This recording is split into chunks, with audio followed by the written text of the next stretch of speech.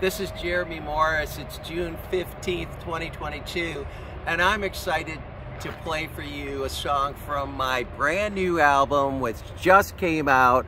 It's called The Day the World Stood Still. I'm going to play track number two, which is called Your Love Lasts Forever. It goes like this.